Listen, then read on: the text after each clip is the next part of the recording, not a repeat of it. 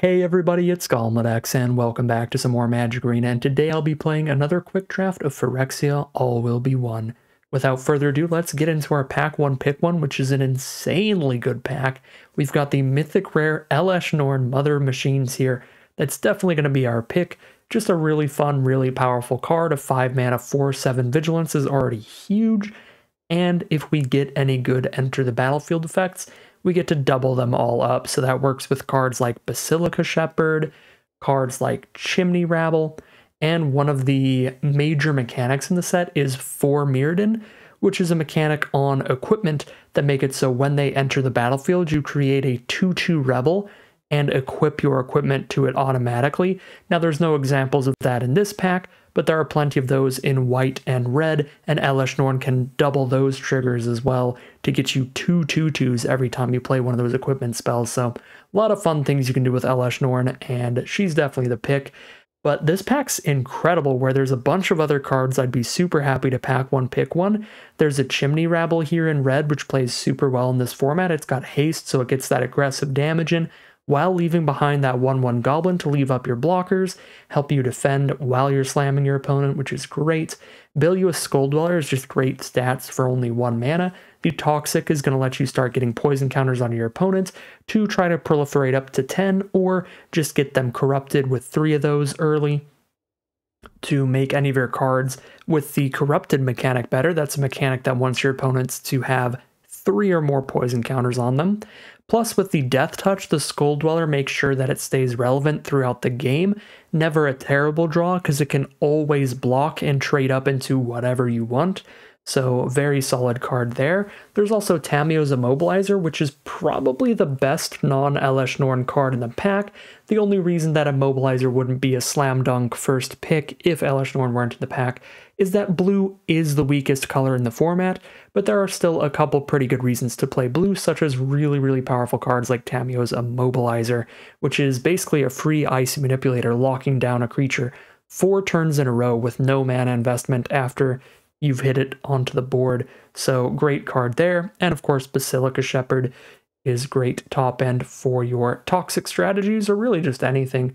It's a lot of stats for the mana value. So excellent pack one. But let's scoop on that. Scoop on? Let's scoop up that Elesh Norn and move on to pick number two, where we get one of the best uncommons, maybe the literal best uncommon in the format we get an evolving adaptive here. This is a one mana 1 1 basically, because it comes with an oil counter and gets plus one plus one for each oil counter on it. Then every time you play a creature that is larger than it in power or toughness, you put another oil counter on it. So it basically has the evolve mechanic back from one of the old uh, Ravnica sets that Simic used to have. So, very fun mechanic, very powerful mechanic where this just keeps growing and growing as the game progresses. And this is a format that also has Proliferate, where you can add additional counters to your permanents. And I guess technically, with Elesh Norn, when things are entering the battlefield to trigger abilities, we could double up even evolving adaptive's ability off of this. So, very, very powerful card. Definitely the pick, even if we didn't have Elesh Norn. And it actually is kind of a cute synergy with the Elesh Norn. If Adaptive weren't in this pack, this is actually a much weaker pack than our pack one. We'd probably go for like Chrome Prowler here, which is a really nice card for the blue-white artifact aggro deck which is basically the only blue deck in the format that I particularly enjoy. There's a lot of cards in that archetype that trigger when artifacts enter the battlefield, so having one that can come out at instant speed and also manipulate combat by locking down one of your opponent's creatures with a little tap there just plays really well in the blue-white artifact deck, so I do like Chrome Prowler quite a bit, but Evolving Adaptive is definitely much better. For pick three now, we have a Basilica Shepherd, which is a solid follow-up to an Elesh Norn because of the Enter the Battlefield effect to double up. Plus, it's just a good card up front. I wouldn't want to take any cards just because we have Elesh Norn. Like, if the card isn't just already good up front, we don't want to take cards that are only good when we have Elesh on board. So, uh, the Basilica Shepherd is already good without an Elesh Norn. It'll just be like fantastic if we manage to draw both together. So I think that's a reasonable pick. Charge the Mites also plays pretty okay, uh, but there's another common removal spell in white that I prefer much, much more. The Planar Disruption is just two mana, make a creature unable to attack, block, or use its abilities, whereas Charge of the Mites is a lot more narrow. You have to have a really wide board state to do enough damage to kill what you want to. But theoretically, you could also just make some mites with it. It's not really what you want to do most of the time, though. I think I'm just going to take the Shepherd here. Again, not a super powerful pack. Nothing I even really want to point out as a solid card to keep an eye on. Pack 1, pick 4, another pretty weak pack. I guess we're just taking another Basilica Shepherd, but this format is aggressive enough that that's basically it for 5 mana spells. There's no way we can take more 5 or 6 mana spells and fit them into our deck in a format this aggressive, so it's the one awkward part here. Maybe it's even worth just taking like the Blight Belly Rat, speculating towards black-white toxic slash corrupted as a path to take, just so we don't start with three five drop spells, four picks into the draft. Honestly, that doesn't sound terrible. I'll actually take the Blight Belly Rat here, even though it is definitely weaker than the uh, Basilica Shepherd. All right, pick five, and the bots have locked us into green for sure. If we can get two of the best uncommon in the format, two evolving adaptive, we're gonna have to go in that direction. So we're definitely green, still trying pretty hard to be white because of our Elesh Norn but we'll see how things progress. Pick 6 now, we do see Eye of Malcator. This is the key piece for the blue-white artifact aggro deck. It is a 3 mana 4-4, but it's only a creature if an artifact entered the battlefield under your control this turn. So you need to have a lot of artifacts in your deck, but the really nice thing about it is that it scries 2 when it hits the board to find those artifacts to, to play alongside it. I don't think I'm taking Chrome Prowler or Eye of Malcator here because double evolving adaptive makes me pretty much feel locked onto that green here. And green blue is really not where I want to be. I think green has the least artifacts out of every color in this set. And the only good stuff in blue, in my opinion, is the artifact focused uh, archetype. So green blue just does not work at all. So I don't want to take either of these. So that leaves us with Goldwarden's Helm because of the synergy with Elesh Norn. Uh, Complete Devotion, which would probably be better in most green-white decks because both green and white have access to toxic creatures. So this becomes a really nice combat trick when you have a toxic creature on the board. Or we could take Churning Reservoir speculating towards red-green oil. I do think red-green oil is a super powerful deck, but I don't actually think Churning Reservoir is even that good in the deck. Um, when you have double evolving adaptive, it does get a little more interesting because you're guaranteed to basically be getting a plus one plus one counter on your board every single turn with this. Um, if you've got an adaptive on the board. But uh, the card is still really slow for a format this aggressive, so I don't know about that full speculation here, but double adaptive makes it tempting. So Goldwarden's Helm, Complete Devotion, and Churning Reservoir are the three options. I think they're all pretty equally viable, um, mainly because these two are not that exciting, but Reservoir's pretty narrow. I think I'm still going to take Reservoir here. That seems goofy to me. That seems like it could be a fun time if we get it going. And now we got a really good card to go with that Churning Reservoir. The Incubation Sac is just a good card up front, and the more oil counter synergies you have, the better it becomes. So it's one mana for an artifact and then four mana to start spitting out three threes which is overcosted for the stat line. You don't really want to play a 4 mana 3 3 unless you're out of other stuff to do. So this is a very late game spell, but once you run out of cards in hand, the fact that this is a 3 for 1 at minimum, it's three three threes off of one card, is incredible. And Incubation Sac plays very well, even with a format this aggressive. You just make sure to use it as the last thing you're doing. You don't want to spend four mana to play a 3 3 when you could be spending four mana to play like a 4 3 that untaps itself and gets plus one plus one every time it attacks. So just keep in mind this is a late game spell, not really a one drop that's actually doing anything on turn one, but it's a great late game spell. Pick 8, kind of sad to see that we could have been like a pretty sweet um, blue-white artifact build here now with a Cephalopod Sentry, but I am more than happy to just keep taking incredible green oil cards. Now we have an Oil Gorger Troll when we already have two Evolving Adaptives and an Incubation Sac, and if we happen to stick to green-white, then this could maybe get doubled up with Elesh Norn, but again, it's already good by itself. So we'll take that Oil Gorger Troll. Pick 9, I suppose we will take the kind of narrow Charge of the Mites, because there's nothing else we'll be using. Pick 10, take a Trawler Drake here. Green-blue oil nonsense makes a little more sense than green-blue artifacts, but I'd still really rather not be in blue. I don't think Vanish into Eternity is super playable. It does a little bit of work against the red-white For Mirrodin archetype because it can exile their equipment at instant speed for 3 mana, but the primary use of this the vast majority of the time is spending 6 mana to exile a creature, which is just a bit too much mana with how quickly games can end. So I'll just take a Trawler Drake. Either pick there's not likely to end up in the deck, but we'll see. Another Charge of Mites, take a Transplant Theorist. At this point, we are at the uh, garbage tier of the packs. There's very few playables, except the double Eye of Malcator in the end. That's a little sad. Well, I mean, we've been getting some really good green stuff. Double Adaptive passed to us, Incubation Sac pretty late, Oil Gorger Troll pretty late. So it's hard to justify a pivot off green. But Eye of Malcator literally pick 14 and 15, or 13 and 14, however Arena does it, is certainly tempting. For now, let's just no longer be looking at the mana curve, I guess, and just look at our spells by how many in each color we have, and we have equal amounts of green, white, and blue currently.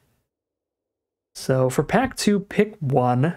Ovika Enigma Goliath is a lot of mana, and it's blue red, which we're pretty likely not doing that. We've got a Hex Gold Slash if we go to red green oil with Churning Reservoir and all the green spells. This is a super efficient removal spell, so it is quite a high pick if you're going to end up in that color pair. There's an indoctrination attendant, and I do have four white spells already. So getting a fifth is pretty nice. A couple pretty good synergies for this. The main one is with four Mirrodin equipment, which we don't have any yet, but also with just enter the battlefield effects generally, which we're already drafting a decent amount of with Elesh Norn. Picking up something with an enter the battlefield effect and recasting it's kind of tempting. Yeah, I mean, I really don't love the idea of ending up in green white here, but we've seen very, very few reasons to be in red. And plenty of reasons to be in white, plenty to be in green.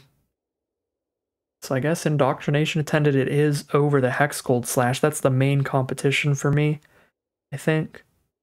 I guess we could always take Ruthless Predation, which is an okay little fight spell here. The only issue with these kind of fight spells is you don't really want to cast them when your opponent has a bunch of open mana. Because if they bounce your creature in response or they play their own removal spell in response, they're killing your combat. Sorry, not your combat trick. They're killing your removal spell and your creature at the same time, which is devastating. They're just blanking your removal and killing a card. Never, never a good feeling. But anytime that your opponent is tapped out, which happens kind of a lot in this format because everybody's just curving out, um, then it's super solid removal. Maybe it is predation. I do think I'm more likely to be green than any other color, because sure, I've got four white spells, but two of them are Charge of the Mites. That's not a ton of those. And then, again, in blue, it's basically just double Eye of Malcator for really solid playables. Transplant Theorists would be good in a deck with Eye of Malcators, but Trawler and Drake not really. So, yeah, we are deeper into green when it comes to actually good spells than anything else, so let's grab a Predation. And for pack 2, pick 2, we can stick to that green with a Contagious Vorrac here. Excellent, excellent card. 3 mana for a 3-3 that draws a land out of the top 4 cards of your library, or if you don't need a land or you don't find a land, you can proliferate instead, which is actually pretty gross. With two copies of Evolving Adaptive, I don't think it's that unreasonable to imagine that we've just played an adaptive turn one, and then we just play a Vorrac turn three, and the adaptive's already a 3 3. It gets an oil counter for playing the Vorrac and another for proliferating. Yeah, Contagious Vorrac looks really nice here. Other than that, there's a Cultivator, which is great ramp for the oil based decks, which certainly looks like where we're at. And some solid white cards with Enter the Battlefield effects to go with Elesh Norn, like Indoctrination Attendant and Bladed Ambassador, but I am very happy to take the Vorrac. For pack two, pick three, the dream just keeps rolling on in. Now we get an armored scrap gorger towards that green based oil deck. This is a mana dork that also gets some oil counters onto it, and once it has three of them, it turns into a 3 3, so it actually just becomes an actual little beat stick instead of a mana dork later in the game, a relevant body for attacking and blocking with. So I like Scrap Gorger a lot, to the point where I'll take it over Predation here. There's also Furnace Strider and Exuberant Fuseling for really solid cards for a green red oil deck. But Scrap Gorger is going to play just as well as those, and we don't have to tie ourselves to a second color yet for that one. For pick four here, we don't have anything exciting. I already have one Basilica Shepherd and I don't want a ton of five drops. And because I'm definitely playing green, if I'm playing green white, then I already have three five mana spells. We've got Elesh, Basilica Shepherd, Oil Gorger Troll, so I don't think another Basilica Shepherd makes the cut there. I guess we could take a Terramorphic Expanse just in case we dirtle around with our second color long enough to want to just do some kind of splashing, but I really generally don't recommend it in this format. It's just there's really nothing here. There's no good, cheap aggro dorks at all, which is the main thing we'd be looking for. Yeah, it's just a bunch of five, six mana spells that are okay, but really slow, so I'll take the Terramorphic. Even though it's not super likely to make the cut. Pick 5 is another super weak pack. This draft has just taken us on a whirlwind of emotions where we've had just some absolute bangers when it comes to the power level of the cards in our packs, just way too good for uh, for whatever pick they're at, and then some just truly abysmal packs. Pick 5 seeing these cards, almost no playables really. It's quite disappointing. Complete Devotion only good in a deck with a ton of toxic creatures, which we are not going to end up being. Shrapnel Slinger's filler for a red deck. Copper Longlegs is filler for a green deck. It's actually pretty bad filler. I prefer the Shrapnel Slinger quite a lot. As a filler creature. But we know that we're green 100%, so I think I just take Longlegs. Super weak pack. Pick six now, another Oil Gorger Troll. That's very nice. I'll happily take that. If it weren't in the pack, I might speculate towards a Sawblade Scamp or Kuldotha Cackler for just a red Oil Dork. But let's grab that Oil Gorger Troll for sure. Here's a Dune Mover for another card that can help splash around. Just puts whatever basic we need on top of our deck. Never exciting, never super good, but nothing in this pack really is. Best spell here is probably Gitaxian Wrappers Raptor or Serum Core Chimera. Don't think we'll be playing a deck that uses either of those. Maybe green blue oil might not be the worst here, taking a bunch of raptors, but now we get another Incubation Sac, so I'm not taking raptor over an Incubation Sac. Pick nine now. Very empty stuff. The cacophony scamp. I do not like magmatic sprinter at all I was going to say a lot, but I just don't like it at all. Um, even if you're a dedicated oil deck, the problem is that you're spending three mana on creature that you then want to keep recasting. Like it keeps bouncing itself back to your hand, and the oil counters just don't make up for the fact that you're spending so much mana when you could have just spent three mana to get a 3 3 and been done with it. With this, you're spending three mana to poke them once, and then another three mana to poke them again, and then another three mana after that unless you put the oil counters on itself, in which case you only have to do the three mana the next time, but then you're not getting any extra oil counter value anyway. Really, really dislike the Magmatic Sprinter.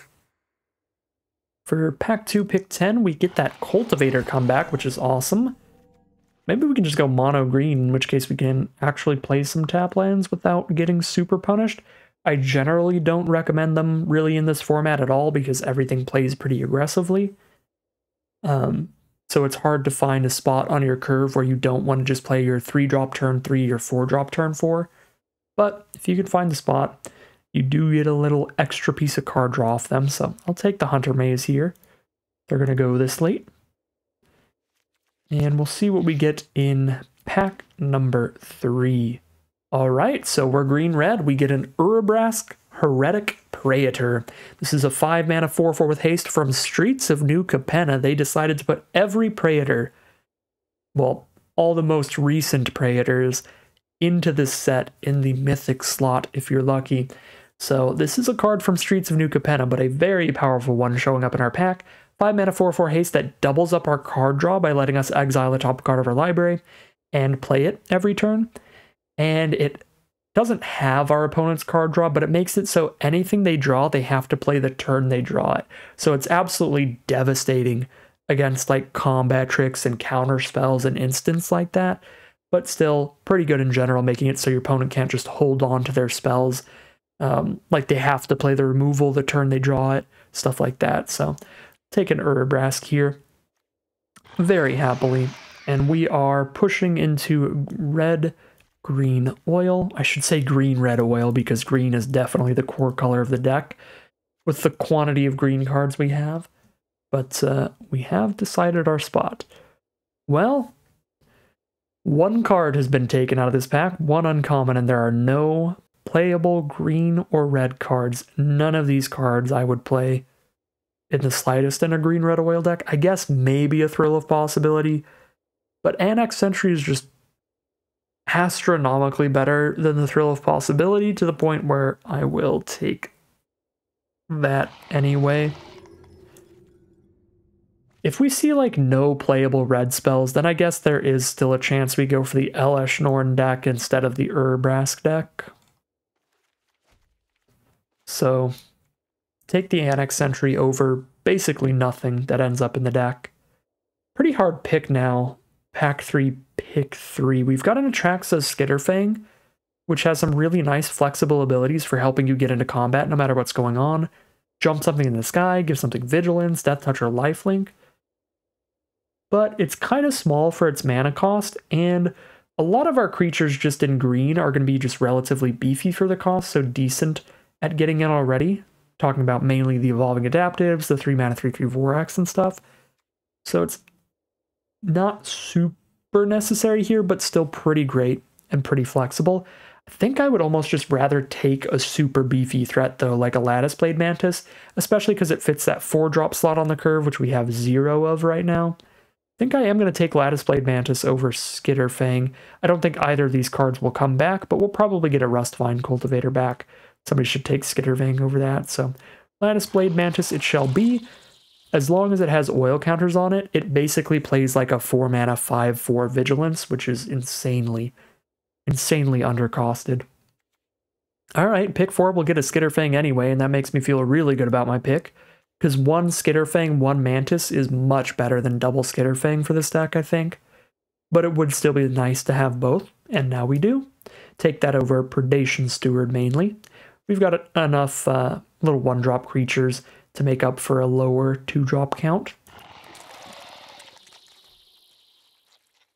Okay, another Lattice Blade Mantis. I will definitely take that over Predation Steward. It's much, much better for its mana cost. The only way that I would take a Predation Steward over the Lattice Blade Mantis would be if I'm astronomically low on two drops or high on four drops, and we're neither. So we'll grab that Lattice Blade Mantis here. Now we've got some options. So, there's nothing in white, but we could take a Titanic Growth in green as a fine combat trick if we wanted to be committed to the green-white deck. Or if we want to take a red spell here, we can take a Hazardous Blast, which is a good finisher because it just shuts off all blocks for the turn, and it often kills one or two creatures because of the amount of one toughness cards in the format. Can also take a Kuldotha Cackler, which might be a really big beat stick in this deck because we have a lot of oil sitting around, but I still think I'd rather take Hazardous Blast. If I'm taking a red spell, it's mainly just Hazardous Blast or Titanic Growth is the question. So I think I really just want to see how does the deck just look if we're a white deck? And how does it look if we're a red deck? So we're at 20 playables right now little high on the curve, not a lot of interaction, but double charging the mites can make up for that a little bit. When we look at the red deck, we really just have one removal spell, which is a pretty big issue. Our only removal is a Ruthless Predation. We don't have any red removal spells. So we're really low on interaction here. If we pick up a Hazardous Blast, that does make up for it a little bit. Not a ton.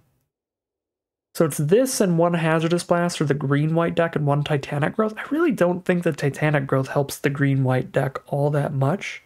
But the Hazardous Blast really, really helps the green-red deck um, solve what it's lacking here. So I'm going to take the Hazardous Blast here, even if we end up getting pushed to green-white in the end. I think it's worth that speculation. Okay, this white card is unplayable for us.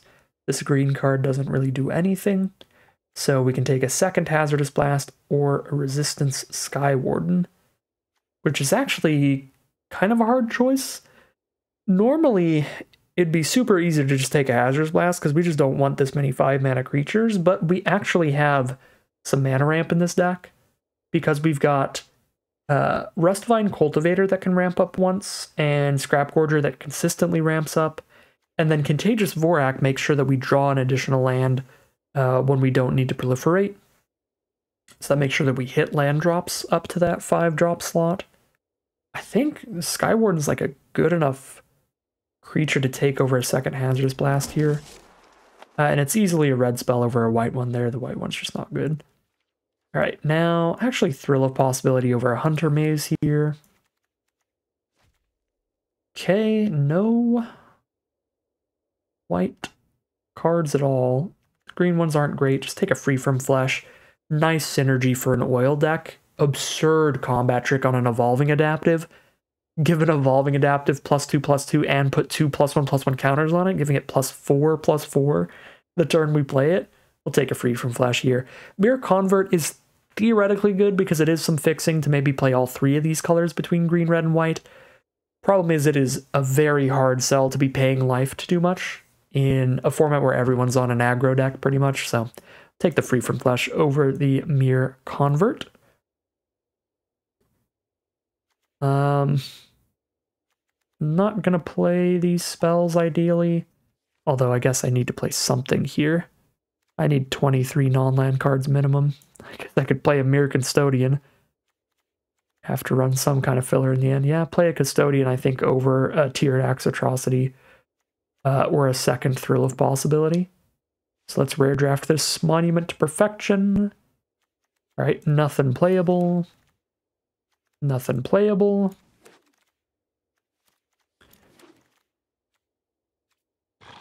We can play double long legs in this deck.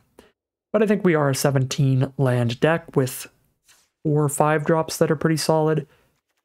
And I do think in the end, thanks to the Hazardous Blast plus like Free from Flesh, I like the green-red a little better than the green-white. Not a lot, um, but neither of them are like super, super deep colors for us here.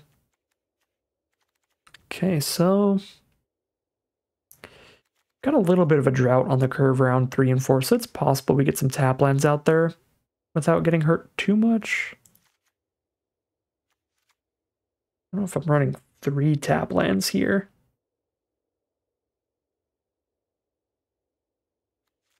We have four, but we definitely don't want to run four tap lands. All right, first and foremost, what is the one cut? We've got 17 creatures, so it's probably just a non-creature. I guess double incubation sac counts as more creatures. Once we're uh, high up on mana here. Just drop the Custodian in the end. Keep the long legs in. Proliferate is slightly cute in this deck. Still. Yeah, long legs, Dune Mover, and Mirror Custodian are the potential cuts, it looks like. I think it's just going to be the Custodian. And then we just find out what we're doing with our mana. I don't even know how valuable these spheres are going to be because realistically, like, we're using all our mana up till turn 5 even, and even after that, like I've got four mana abilities on a couple cards, a two mana ability I can keep using. Right? Like if I have an Incubation Sac on the board, I could use like seven plus mana because I could have an Incubation Sac on board and then just draw a three drop. And then I want to use my sack and play the three drop when I'm in the late game. So I would know if sacking lands to draw their cards is super, super valuable to pay out for the fact that sometimes we don't curve out well with the um, tap land there. So I'm actually just going to run the Terramorphic, but none of the spheres here. So I think Terramorphic could still be okay when we have two double reds and two double greens in the mana costs. So we have some pretty restrictive mana values at the top of the curve. So we'll play a single tap land, and I would not be surprised if even with a single tap land we get punished for having tapped mana sources in this deck, but we'll see. We'll go ahead and call it a deck here. All right, here's a look at our final deck list for today. We are on a green-red oil deck. We've got a couple really, really good aggressive creatures, the main ones being the two evolving adaptives here. We've got some beefy stuff higher up on the curve, like Vorrac into Double Mantis, that's pretty nice, and some great card advantage with two Oil Gorger Trolls at Urabrask, and two Incubation Sacs as well for a bunch of good card advantage, so we're like really good at grinding out a long game. We've got several creatures throughout the curve to be blocking the more aggressive strategies. Looks like a pretty solid strategy. One of our big weaknesses here is our lack of removal. We have one Ruthless Predation and one Hazardous Blast, but they are both kind of narrow, especially the Hazardous Blast, uh, when it comes to trying to just use this as removal. So if our opponents play any really good bombs, we could have some big issues, but for the general meta, just some random dirty little aggro decks, I think we've got a solid, solid game plan. So without further ado, let's head into the gameplay and see how it does. Here we are on the play for game one. I love the double mantis, really don't like having no creatures till turn four though. Honestly, in this format, I don't think it would be unreasonable to mulligan this. And it might be genuinely the wrong play to keep it. Yeah. Ah, I hate that I have to mulligan this, but I really feel like I do. All right, this is a pretty exciting hand. I can't evolve the adaptive for a while, but still has some big spice to it when we hit the late game. Probably ditch the scamp. This is my one drop, my four drop, and five drop. I guess it's not that much better. I've got a one drop here, but we still don't have anything to do turn two or three. Playing against a black deck. Well, there we go. There's what we're doing turn two. Excellent top deck. And now Evolving Adaptive is immediately a one mana 2-2. We love to see it. There's a Voidwing hybrid from our opponent. Is pretty awkward because when they proliferate, they bring it back from their graveyard to their hands. They can keep bringing it back over and over again over time. I could still send in the adaptive, and if they block, I trade the long legs for the hybrid instead. Because um, I could sack the long legs, but I'd rather just get the incubation sac out now so that I know next turn I can play a 3-3 off of that. And by playing a 3-3 off of that, adaptive buffs itself to 3-3 and I can attack in without having to sack the long legs if they block. Uh-oh.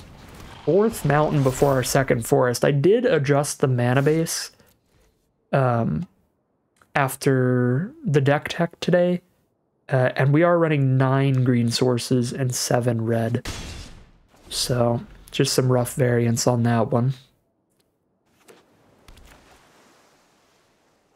We've got five lands and we're hoping to draw sixth because we are looking for our second green source.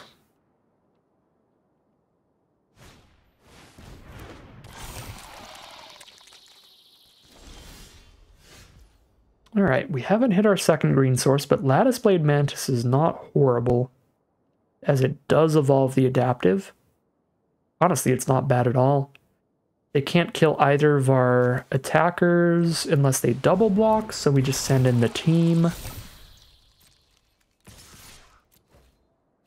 We might double block adaptive here, but I don't think that's bad for me. Nope, they're just going to chump block it. Fair enough. I was going to say, I think the double block would be fine for me. Because then adaptive would die, yes, but their Necrosquito would die, which would be nice because this can get bigger as everything keeps dying on their board and as they proliferate. And that is what the blue-black archetype is supposed to do. Play a lot of spells that proliferate to keep putting poison counters on us. More oil counters on their board, bring back their Voidwing hybrid, stuff like that. Another incubation sac. Well, it's not my second green source, which is not good. Ataxian Raptor is a very good blocker because with the three oil counters, they can block as a 4 1, and already they can just trade into an adaptive or a 5 4 Lattice Blade Mantis, which is pretty gross.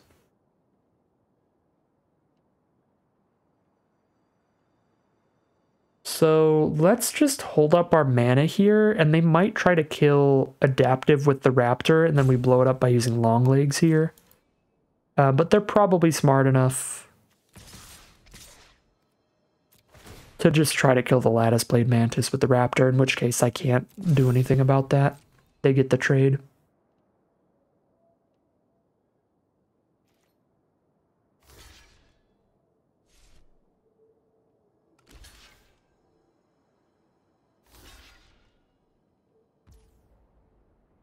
Mm, so they want to just keep the Raptor around for now. That's fair. Chump block and a bounce. Fair enough. Maybe not. They might actually just trade the Raptor for the 3-3 instead of the 5-4. That would be super weird. Yeah, I guess they're just playing it safe against a plus one plus one combat trick or something. Or maybe they think by proliferating more oil onto the Mantis it gets bigger. I don't know. I think if they were going to trade the, the Raptor off, might as well trade it with the Mantis. Interesting. Okay. Now... Yeah, we'll just get the incubation sac man investment out of here. And we'll keep using the sack with more oil every turn. That way, like this long legs is so dead. There's no universe in which we're not going to proliferate with that if the game keeps going on at this point. So we'll keep using the sacks till they're both at one, and then we might sack the long legs from there. Alright, Mesmerizing Dose. They're going to lock down the Mantis, proliferate to pick up the Voidwing hybrid, but the Dose did cost them double blue, so they can't recast the hybrid. Could play a Skitterfang here, but none of these abilities... Well, Death Touch does work. Yeah, play a Skitterfang, get Death Touch, hit for three. Seems reasonable.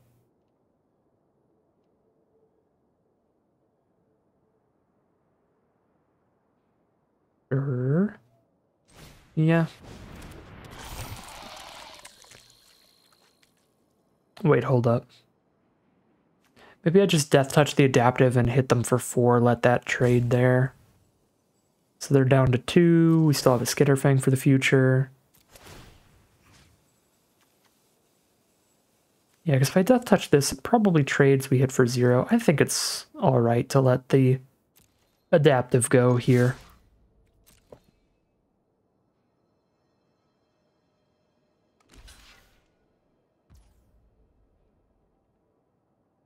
Alright, they're going to let us keep the adaptive and they're going to go to one life then.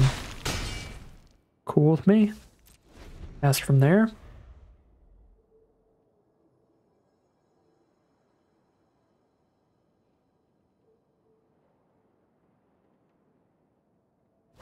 Very, very little life gain in the format. The one thing we'd be scared of here is there is a 2 mana 1-3 that gains them life every time they proliferate. That's an uncommon, the Scheming Aspirant. Alright, well, can't break through all that. We do find the green source for the oil gorger troll, so let's slap that bad boy down. There we go, that's a way to break through that. Soldier's Hazardous Blast next turn, and that will end the game for us.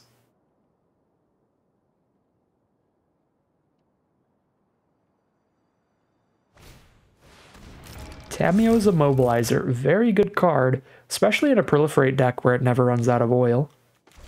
But Blast, and we're golden.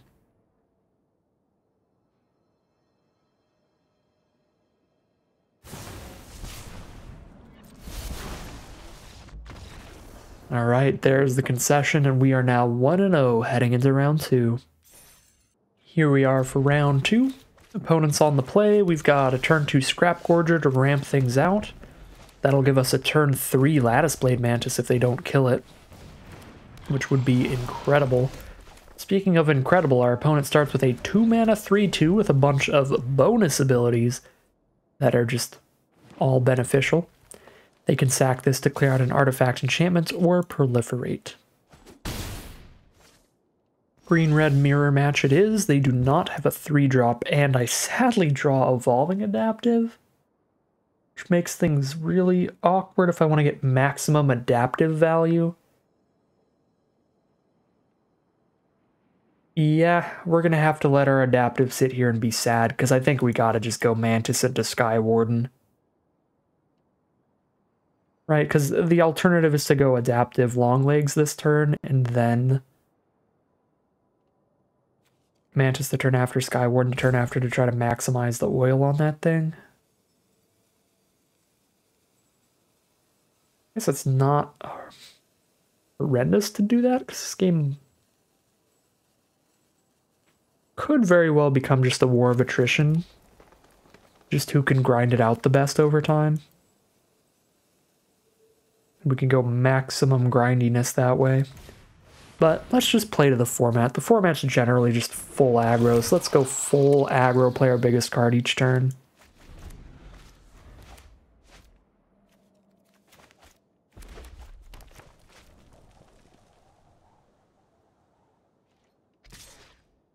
Send in the Cankerbloom, no blocks.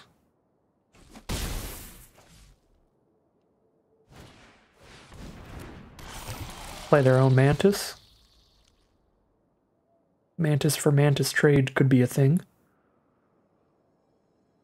Um, I think if they take the Mantis for Mantis trade, we'll just let it happen here. Because of how good Free From Flesh is on an evolving adaptive.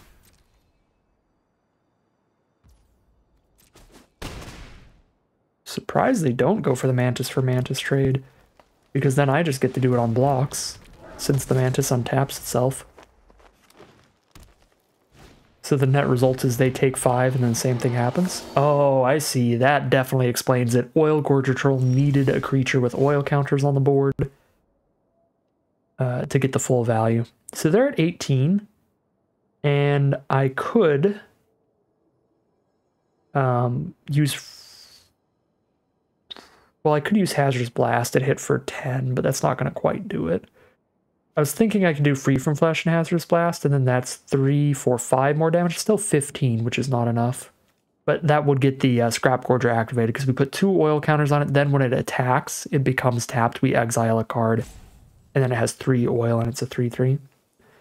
So, alright, not quite Hazardous Blast lethal yet, so let's just... set up to definitely have Hazardous Blast lethal next turn. Why do they double block Sky Warden here? 4-3 and a 3-4?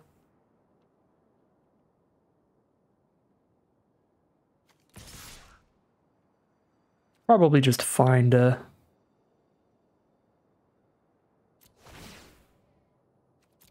Find just a regular place to use Free From Flesh rather than going for the fancy Evolving Adaptive play. Yeah, if I can use Free From Flesh to kill both these creatures without losing my Sky Warden, then we gotta say sorry to Evolving Adaptive. Alright, now there are cards in graveyards so that the Armored Scrap Gorger can finally start getting its oil counters. There's a Chimney Rabble for our opponent. 5, 6, 7, 8, 9, well, 9, 10, 11 if we get the full oil on this thing, which is not going to happen right now. Still definitely not Hazardous Blast lethal. Lots of little dorks over there. Well, Hazardous Blast isn't going to be lethal, but I think we still just cast it here. Because now we're killing a Sawblade Scamp and a 1-1 Goblin from their Chimney Rabble. It's, it's pretty gross still.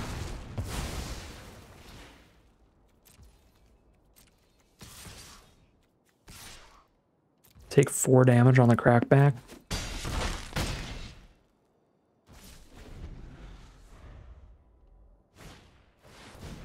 There's another chimney rabble. Alright. Guess I should have waited one more turn. They've got the mythic common from the format.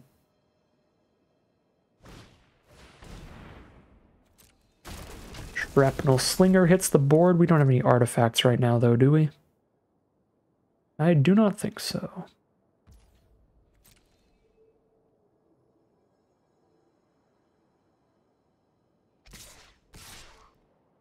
Send in the rabble here. Well, now they've got low enough toughness, we know Sky Warden is going to be a safe attacker, which is great.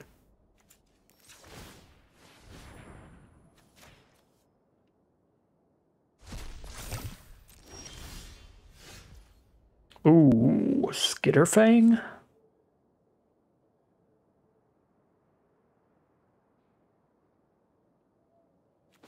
Kind of want to have access to Longleg's ability without having to tap the Scrap Gorger to do it, so I'm going to play my land here. I can't kill them. I can have a pretty exceptional attack. just a lifelink up the Sky Warden, or I could like Death Touch the Adaptive.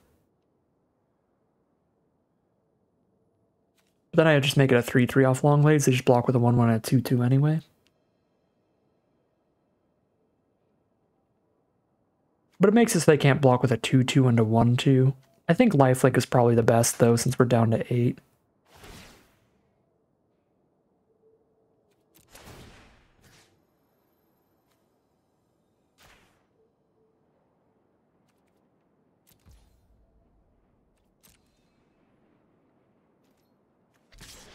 So drain them for five. Trade adaptive one for one for Slinger. I guess I could send in two creatures that are theoretically three threes because long legs.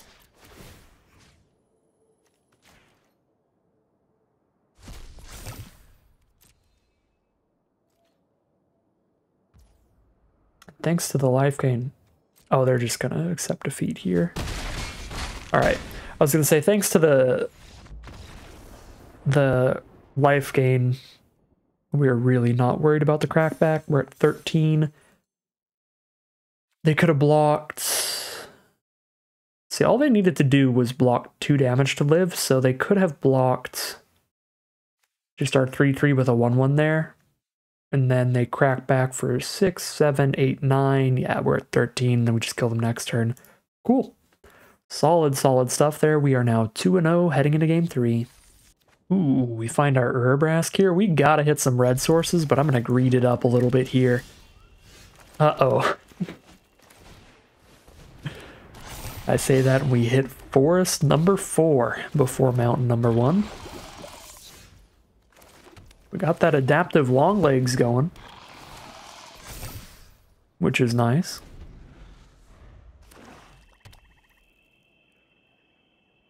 Playing against a black-white deck, they have some incredibly efficient removal. So we could have some issues here. Ooh, speaking of incredibly efficient removal, I don't know if predation really counts, but decently uh, efficient removal. Probably kill the Bonepicker Skirge, so even if we get corrupted, we don't have to worry about a life-linking, death-touching flyer ruining our day.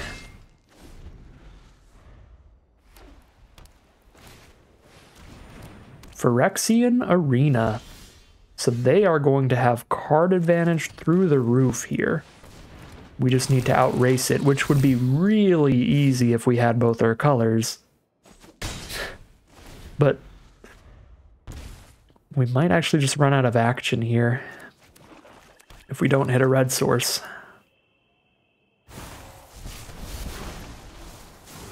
Drown in Ichor, pretty nice against the adaptive here.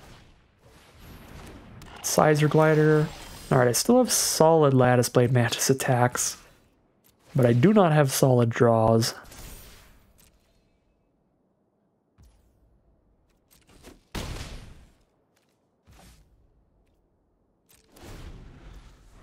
Only three red spells left in the deck.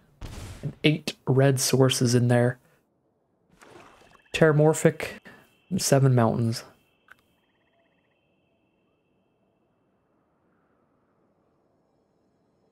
Actually, there's a Scrap Gorger as well, so there's actually nine Dune Mover. There's ten 10 ways to get a red source.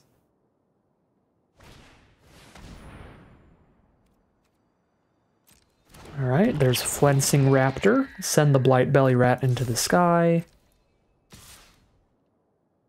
So we will get our first poison counter here. There's a lot of spells in the black-white color pair that get better when we have three poison counters on us. So now I have two red spells and 10 red sources in my deck. Um, I was going to say it might be worth jumping with long legs and just putting another oil counter on the mantis there just to really make sure they can't like proliferate and get us corrupted here because that was also going to be our last opportunity to use the long legs to proliferate another oil on the mantis since we were going to have to use its oil to get another attack in. Alright, works out really well for us that we didn't do that because now we get to keep the mantis against their edict. This does mean the raptor gets to get in freely though. We no longer have a reach creature.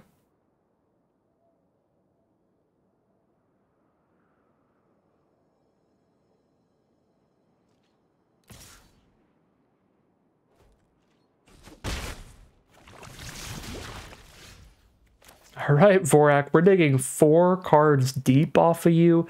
If you don't find a mountain, I'm going to blow a gasket. All right, Contagious Vorrac. Um, do I do this pre-combat? I guess whatever I play doesn't affect our combat at all anyway, so let's actually just Mantis, and then we'll post-combat Vorrac. Because that might get them to... Maybe they just don't block because they want to get the Blight Belly Rat in. They're like, oh, you've got no blockers up. I don't know. They've got a Phyrexian on Arena on board. I really do not think they can choose to go to two here. Alright, Sheoldred's Edict. So they would have just cast that in response to me casting the Vorrac anyway. Exact same difference. Alright, Vorrac. We find a red source. So we definitely cast it. Well, we pick it and we play it. You don't cast lands. Now I can Thrill of Possibility, discard a card, draw two, and look for a second red source for Urabrask.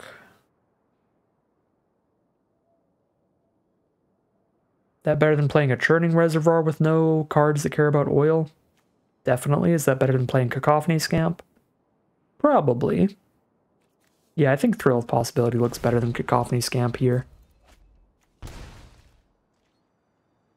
And we discard the Reservoir. Because Hazardous Blast looks premium against an opponent that has a Phyrexian Arena on the board. And Urabrask as well is just always premium. If we can hit the second red, which is part of what we're digging for with the Thrill of Possibility. Alright, here we go. We are officially corrupted. We have three poison counters on us.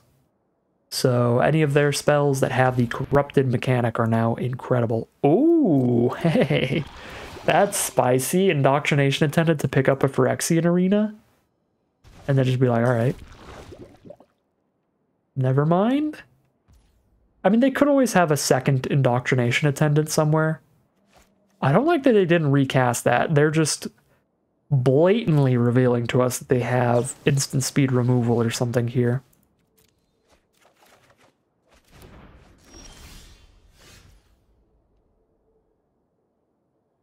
We're halfway through. Still have not found Mountain 2, sadly. So no Urabrask. We definitely don't try to just Hazardous Blast lethal until we have very much overkill because they clearly have instant. So let's just put as much power as we can on board, which is probably a 3-3 off Incubation sac and a Cacophony Scamp. I think that is the most power we're putting on this board.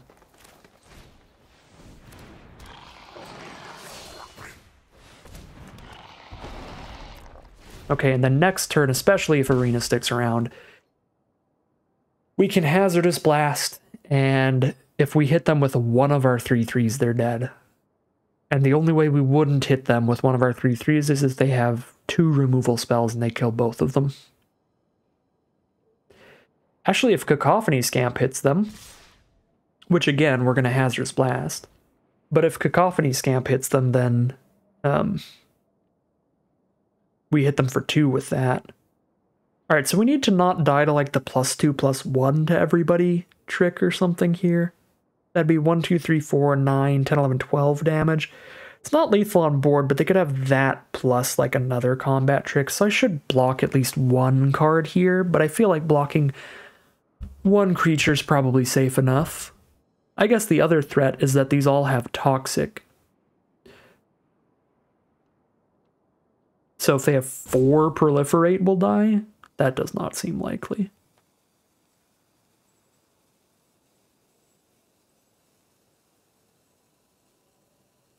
Just do that. Feels safe enough.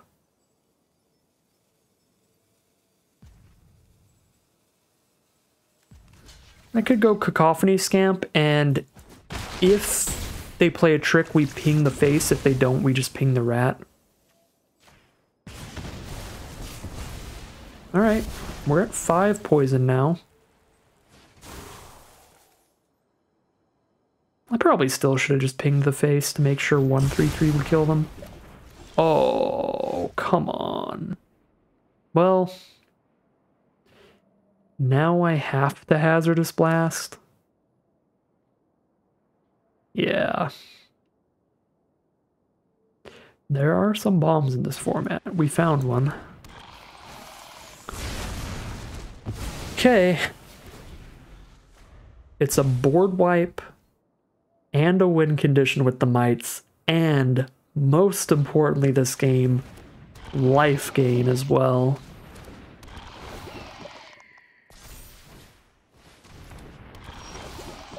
God, that sucks. Where is Mountain 2? Not like this, Arena.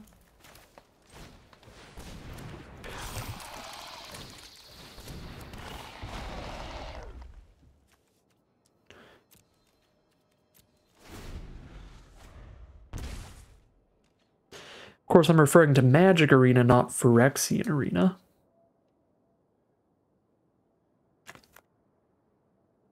When I make my hopes and prayers to Arena. Oh my god. This is an absurd game of Magic. Hey, there's the mountain. We could still win.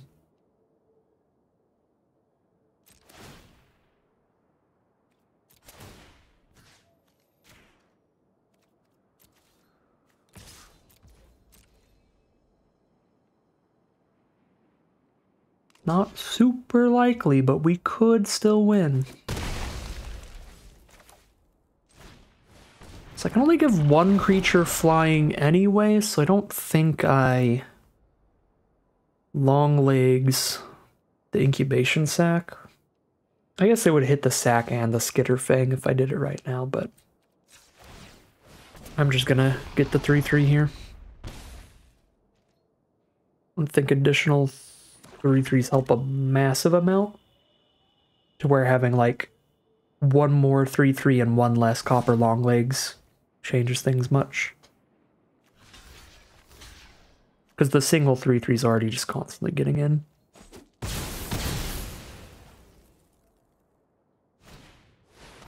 I guess they are drawing a lot of cards. Oh my god. And the second Grimnarch now gains four. Because we're empty-handed. Hmm. Play an disruption for the 3-3. We just draw two red sources in a row right after they make us discard Urabrask. Alright. I mean... We basically lose now. Not a whole lot to say. We got hit real bad by the variants. Obviously at the start of the game, it was self-inflicted a bit. We kept a bit of a risky keep, but uh, we got hit by a multitude of things going incredibly wrong for us. This incredible bomb that also gains life with their Phyrexian Arena, missing the second red source for infinite turns and the first red source for a very long time. Had our opponent to like one life away from dead several times. Now they just have lifelink for Skitterfang. They're not going for lifelink yet, which is nice. Gives us a teeny tiny chance.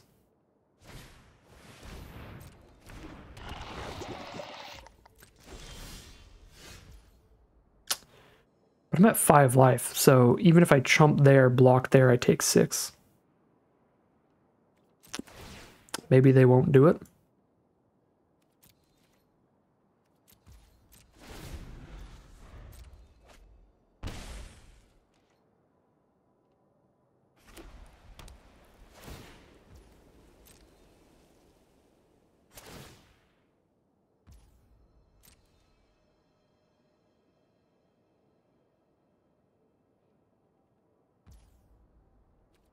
Yeah, there's the life link and they attack with everybody. Uh, if they didn't attack with everybody, we would still have a shot against the lifelink here because I could block plus sack to counteract it. But no, that was just super unlucky, basically, for a variety of reasons throughout that game. Devastating game. Magic Arena hated us in that one, and we are 2 and 1 heading into game 4. Here we are now for game number four. We do have one red source off the Scrap Gorger. Obviously, it'll be a pretty big issue if it's removed. But if not, we probably need to just like thrill of possibility immediately. Especially if I draw Forest 3.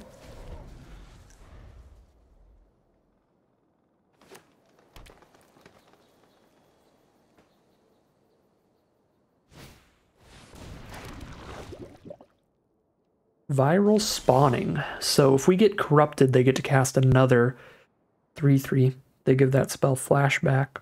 So we really want that to not happen, but I can't play anything big enough to block that. Oh wait, no, I can just exile it with Scrap Gorger. What am I talking about? Yeah, I'm fine.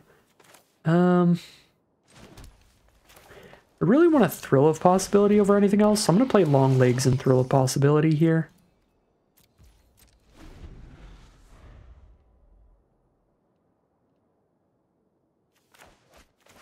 I think we're ditching Hazardous Blast. But I could also ditch Sky Warden. But I'm technically, as long as Scrap Gorger's on board, only one red source away from the Sky Warden.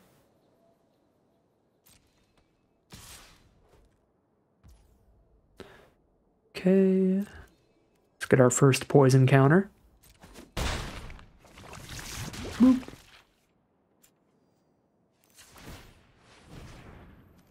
Exile the viral spawning.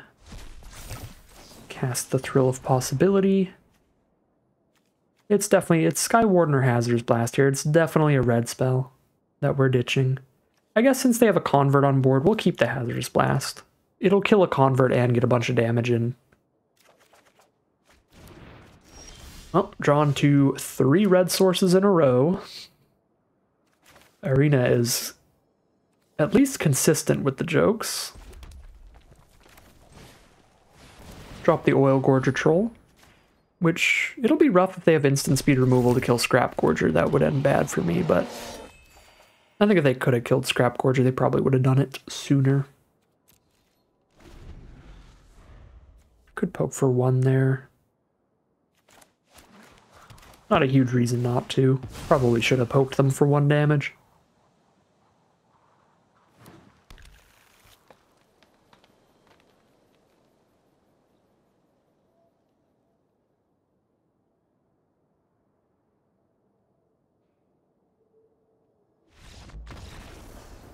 All right, our opponent's already just conceding. They just did not like us exiling their flashback card, I guess.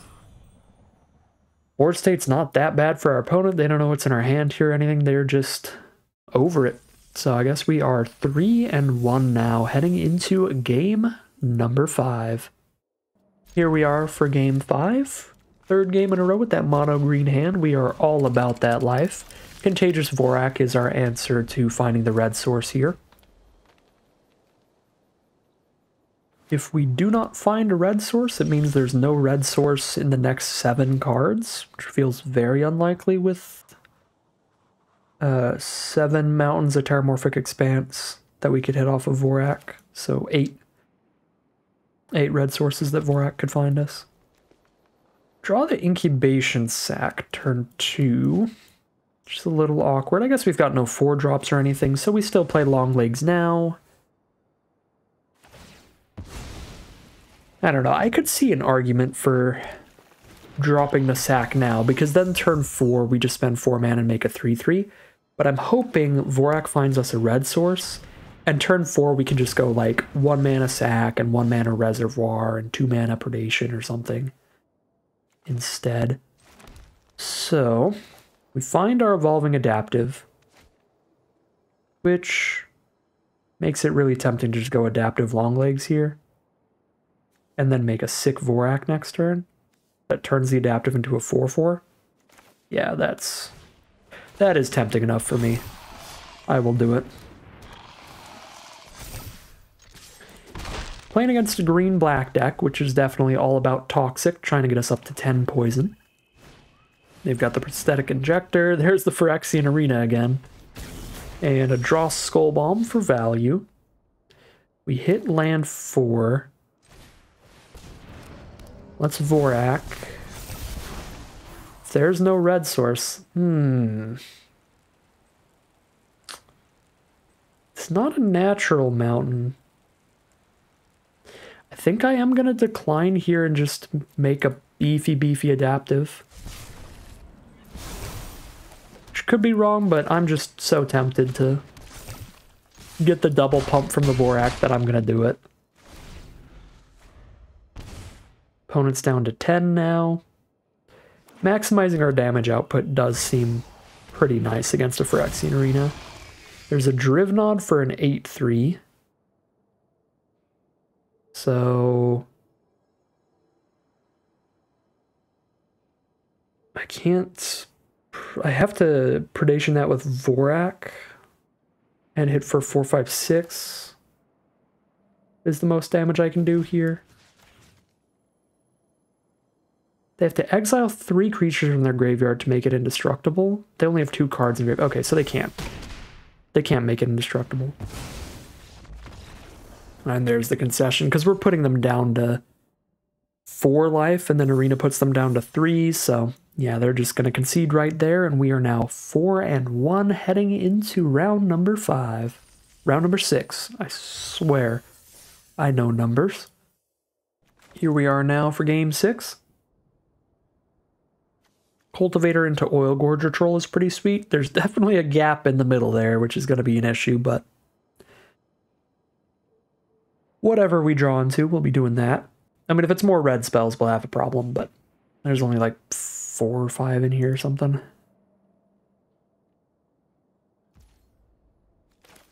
So hopefully not super likely we find more red spells over red sources or green spells.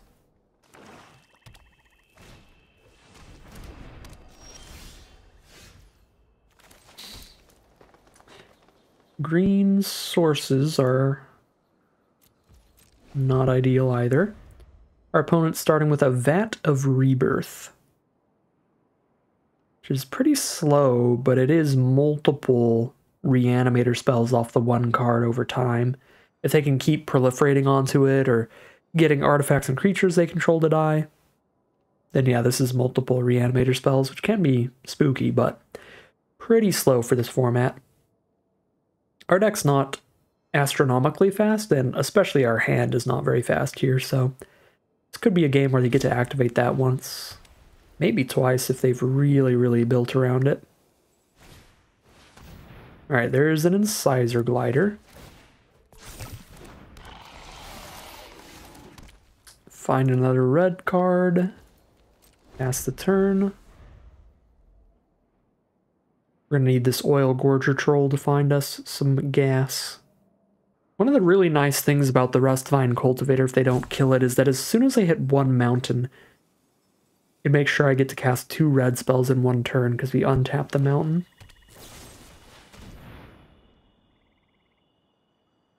Shouldn't have said anything. Opponents wiretapped my house.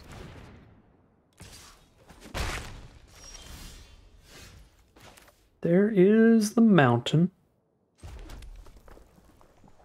I haven't drawn into any more creatures, so there's nothing that I can have, nothing I can put an oil counter on or the oil gorger troll. Luckily, we only take like one damage next turn, so I can wait a little bit to play this troll, but it's going to be a massive bummer if I have, if I have to uh, play it without drawing a card. All right, cool. There we go. Right on time, we find an Atraxa's Skitterfang.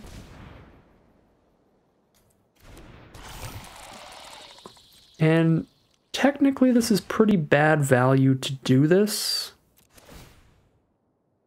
But I'm going to take the action here so I can use the reservoir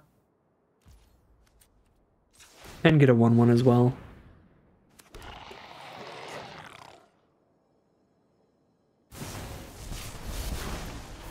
Alright, Whisper the Dross the 1-1, fair enough. At least they're proliferating when they don't have an oil counter on the Vat of Rebirth. Poke me with the Incisor Glider. Okay. Oh yeah, I totally forgot about the first ability on Churning Reservoir. Alright, it's not bad value at all to just spend the oil to get a get a 1-1 there. So we cast an Oil Gorger Troll and pray they don't kill Skitterfang. Another situation where it feels like if they could have killed, killed it, they would have done it sooner.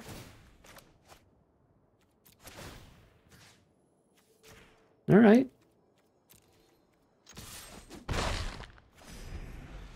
Opponent might just be flooding out or something. I don't remember if they played land last turn, though. So maybe not. Okay, Drown in Ichor for the Oil Gorger Troll. We are now corrupted, so the Incisor Glider hits us for two a turn, and more importantly, if they get any more creatures, this buffs all their creatures every time it attacks. Plus one, plus one to the whole board, so it can be real scary. They hold it up as a blocker here. I guess because we win the race with lifelink every turn, since I get the infinite triggers going. Um, I mean, let's just send in with Death Touch and see if they do anything weird. Then I can use Free from Flesh if that helps at all. Probably should not have played this land since I have this Thrill of Possibility.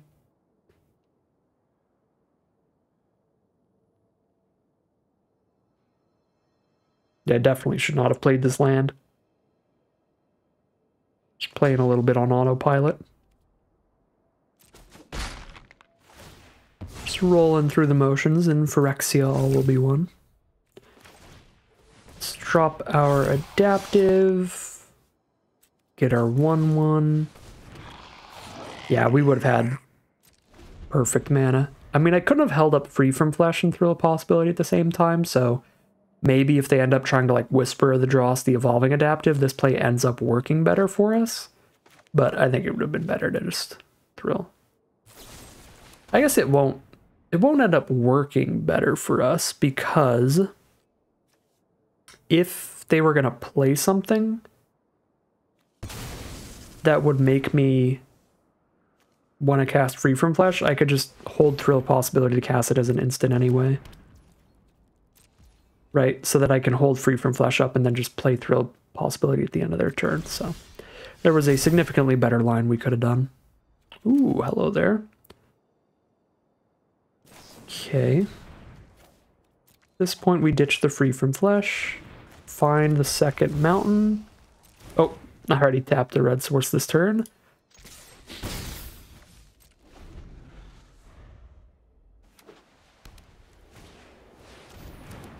There's a head cleaver. Head cleaver is actually very scary. They don't have any instants here, then I'll just predation it post-combat, but I want to try to bait out something here. Alright, if they could have killed Urabrask during our turn, they would have done it when I declared an attack with them. So now I'll predation. The reason I didn't pre-combat predation, even though I would technically hit them for one more damage, is if they could kill Urabrask at instant speed, and I tried to predation, then they would kill our Urabrask and blank our predation. So I feel like it's worth it to hit them for one less damage there to test the waters and see if they have the instant speed way to kill Urabrask, because if they did, then they would have done it. When I declared the attack. Okay, cool.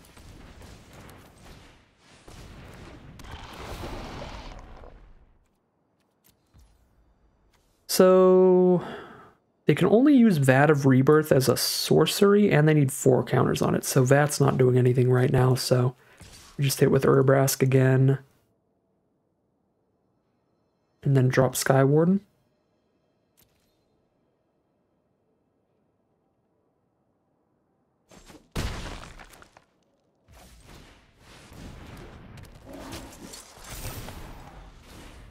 Our evolving adaptive has gotten so big, sitting there pacified, and our opponent probably top decked a land? Wait, why is it revealed to us? They drew for turn, it shows us Blightbelly Rat and they concede? Why can I see? Oh, right, because Urabrask's ability. Oh my god, my brain is not on today. I'm going to be honest with you all. Had a long, long day at work. But uh, we're here. We're playing draft. I'm, I'm going through the motions until Lost Caverns of Ixalan drops. I was really excited for chromatic cubes and everything, but they are not coming on till November 7th, I think. So I don't think I'm going to be able to do any chromatic cube videos this time around because on November 7th, I always record my videos at least like one day prior most of the time. So I've already I don't have time to record a chromatic cube and get it out the day that it launches, right? And November 8th's video, I've already planned to do a set review of Lost Caverns of Ixalan. And then November 9th onward, that's Lost Caverns of Ixalan early access. So it's taken too long with the cube this time around. Every other time they made it so there was one week of cube before the early access event. So big bummer. Big bummer. So that, that is part of why I'm just kind of going through the motions and out of it. In the last few drafts, I'm just bummed out we should be playing Chromatic Cube right now, but I don't I don't get to play any Chromatic Cube this season. The variety drafter does not get to play a variety of formats this time around. Slam dunk, insta keep this time around. We have both colors and an Urabrask if we make it to double red. Our opponent's on the play with the mulligan to five. Start things off with our reservoir to speed up the scrap gorger. Actually, we already have double red because of the scrap gorger. So if they don't kill our scrap gorger, we won't have to hit a second mountain. There's a contagious Vorrac.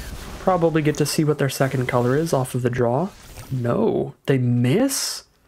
They have, oh my god, our opponent is so unlucky.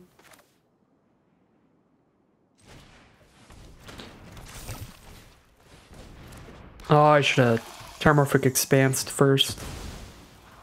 Because then Scrap Gorger would actually exile something and would actually get the oil counter. Loose. Super loose. But our opponent's tremendously unlucky here because they had nothing to proliferate, so they looked at the top four. There was zero reason not to take a land if there was one, so there were just no lands in their top four. Alright. We're doing the thing. Oh, an Urabrask against opponent who's stuck on one color could be really, really rude, because if they hit an off-color... Oh my god. I was going to say, if they hit an off-color spell, it's just exiled forever. And they hit a Crawling Chorus, and that leads to the concession. Yeah, that was abysmal luck for our opponent. That was infinitely worse luck than the one game that we lost, which was still a pretty unlucky game. The mull to five mono-colored hand. Don't hit any lands off the Vorrac. Opponent plays an Urabrask to exile your white spell so you don't even get to draw it for later. That was a disgusting game of magic. Not really fair in the slightest. But definitely another victory for this deck, and we are now six and one in the money, heading into the final boss with two rounds in the chamber. Here we are for that final battle. No mana dork this time around, but another keep, I think. Skitterfang turn 3 is our first play. A little slow for the format, but some powerhouses in the hand with a sack and an Urabrask. Our opponent starts with turn one Cacophony Scamp. We might actually get aggroed out this time. We'll see.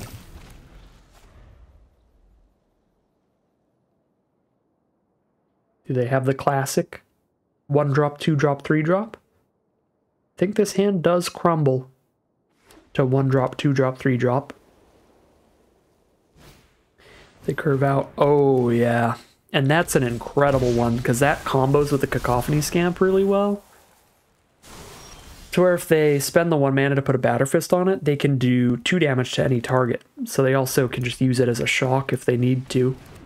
A sorcery speed shock, but a shock nonetheless. Copper Longlegs was a great draw here to make sure we have at least one creature to try to trade off with. Helps us out significantly. There's a Furnace Skull Bomb that doesn't really do anything, and a Dune Mover that doesn't really do anything. Alright. I am now feeling considerably safer. Their turn 3 was much worse than their turn 1 and turn 2. Alright, put a planes on top with that Dune Mover. They're trying to hit triple white. I don't remember anything that needs triple white, but it has been a while. They've been super in-depth on the format.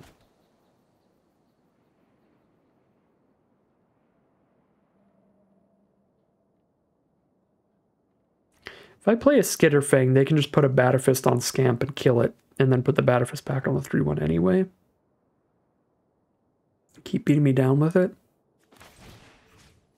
Don't love spending my only removal, but I think it's a much better use of my turn than Skitterfang is.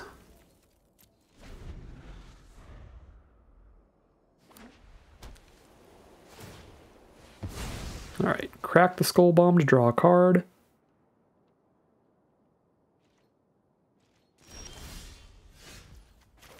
All right.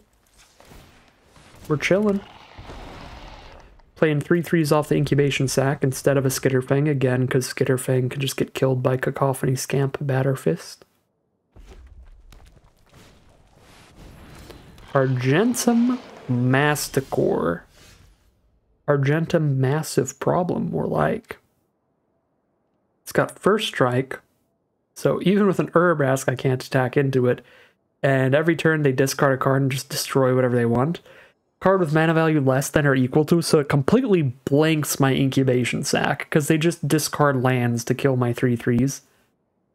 I don't think we can actually beat an Argentum Masticore. I don't even think we have removal in this deck that's big enough to kill it. If I didn't cast Predation, theoretically I could play an Urabrask and then Predation Urabrask to being a 5-6 to shoot it, but that would be my only way to kill it. And obviously I had no idea Argentum Masticore is coming here. Yeah, I think that just blows up blows us up, period. I think we're dead. Might have been better to Urabrask there. Uh, just hoping they don't have like another 5 drop to kill it. Just to start the, the card draw going.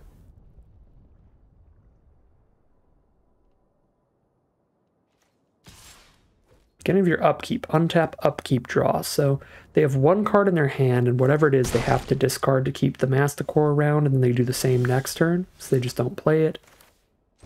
Yeah, I think I should have just played Urabrask last turn, but I'll definitely do it now, because now we had them ditch a spell here.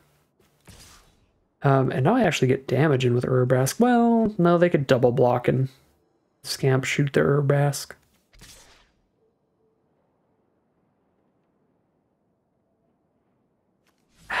Probably have to hold up blockers. Oh my god, hold up. Wait. Urabrask actually nullifies the Masticore. I am playing so sloppy today. It's not none of no cards go to their hand, so they have to discard. But they have nothing that's actually in their hand, so Masticore does just actually die. Oh my god. Well, they can actually use Autonomous Furnace and keep it around for another turn. Wow, I really should have played Urabrask last turn, shouldn't I? No, don't play the War Whip? Alright, well, Masticore's dead.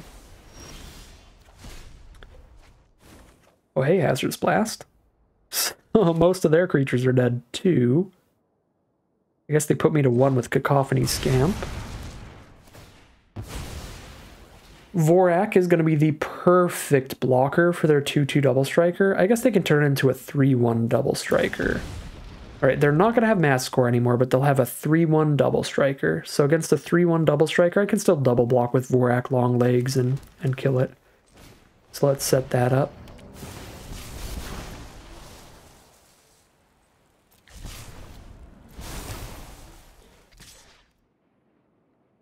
They cannot block because of Hazardous Blast, so we'll poke with Urabrask. Let's see what they draw. Oh, Blazing Crescendo? Well, we don't get the double block.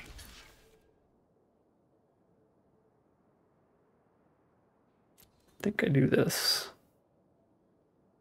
I don't think Proliferate's valuable enough to chump with my 3-3 here.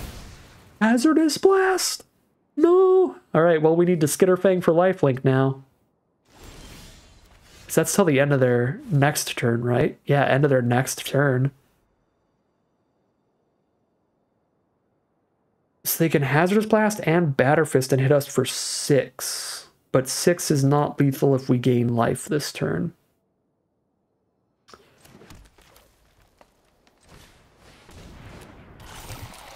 So Skitterfang life gain time.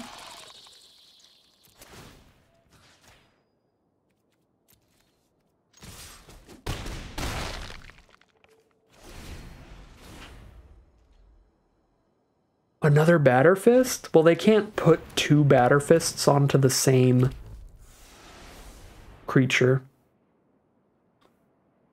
Because it'll become zero toughness, so that wouldn't change the damage they do. And they tapped out a hazardous blast, so now they just don't hit us at all.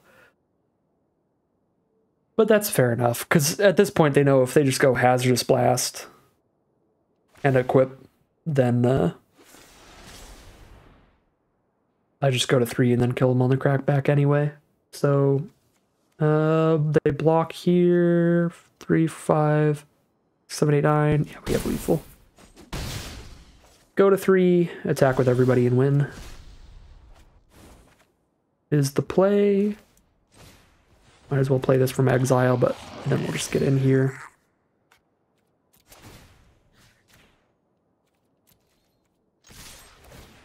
All right. Looks like our deck, and especially Urabrask, is just a busted enough magic card to make up for some really sloppy playing these last couple games. And we're going to get a 7 and 1 run. Very, very nice. That is maximum prizes and only one loss all around. We will certainly take it. That is going to grant us some pretty big prizes by quick draft standards 950 gems and two extra packs out of the 750 gem event. So we are definitely quite far in the money. One last look at the deck here. There were definitely some things that were awkward about it. The curve was not great. And the mana's a little rough with these double red spells. I still felt like we had enough green spells to justify going for a 9-7 split, but we did get hit pretty hard with that a few games in a row. A lot of mono green games uh, for a little while there. But again, we've got that Dune Mover, that uh, Scrap Gorger, and uh, we could always have just mulliganed those opening mono green hands, and and maybe that would have uh, helped in that that little section of the draft where we had some some mana issues there. So yeah, the mana base is a little bit rough. There's some kind of filler cards like the long legs, the Dune Mover, but overall, some really premium card quality with adaptives, Scrap Gorger, Mantises, Vorracs, Skitterfang, Oil Gorgers.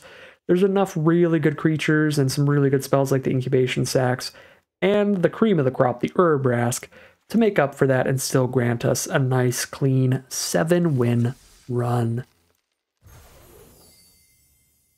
But that is going to end today's video. As always, I'd like to thank my patrons and YouTube members for their support, as well as you for watching the video.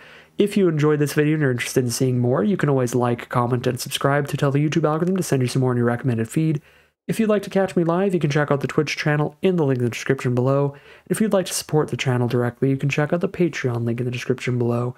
But other than that, as always, thank you very much for watching, and I'll see you again soon for some more Magic Arena.